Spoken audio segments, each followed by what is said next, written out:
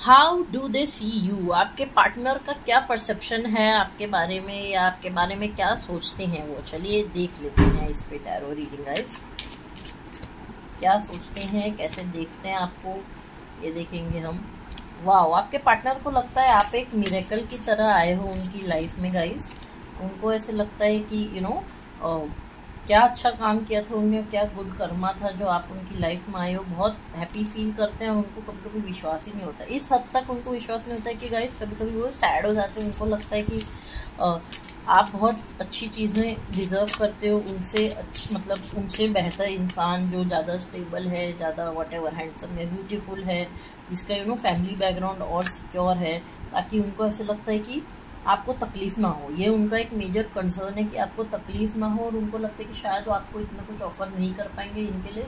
वो थोड़ी सी low energy में भी चले जाते हैं कभी कभी बट बहुत बहुत आपको एकदम क्वीन एनर्जी में देखते हैं और मैं कहूँगी कि वाह उनको लगता है कि आप एकदम जॉयस हो। You are very filled with joy happiness भरा हुआ है आप में कूट कूट कर हर सिचुएशन में आप कुछ ना कुछ हंसने के लिए ढूंढ लेते हो।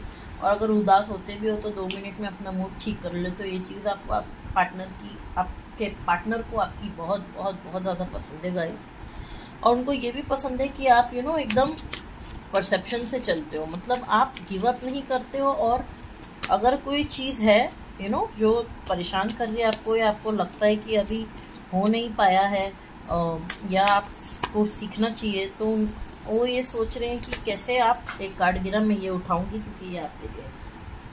तो वो ऐसे देखते हैं कि आप क्यों गिव अप नहीं करते हो? मतलब आप में कितनी अच्छी क्वालिटी है कि कैसे आप वो टास्क कंप्लीट करके ही रहोगे। आपका ये माइंडसेट है कि देरी सही सही पहुंचूँगी ज़रूर।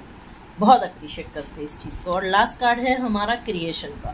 तो आपके पार्टनर बहुत ज़्यादा क्रिएटिव एनर्जी में देखते हैं, आपको उनको लगता है कि आप you can build nothing from scratch मतलब कोई भी रिसोर्सेज नहीं रहेगा ना तो भी आप you will find a way out और बेस्ट आउट ऑफ़ वेस्ट इस टाइप की कोई भी चीज़ आप करने में बहुत एक्सपर्ट हो और ये चीज़ बहुत बहुत बहुत ज़्यादा अप्रिशिएट करते हैं partner this is how your partner sees you तो रीडिंग ये हाँ ख़त्म होती है गाइस पसंद आए तो लाइक कीजिए शेयर कीजिए कमेंट ज़रूर कीजिएगा. Thank you for watching stay blessed bye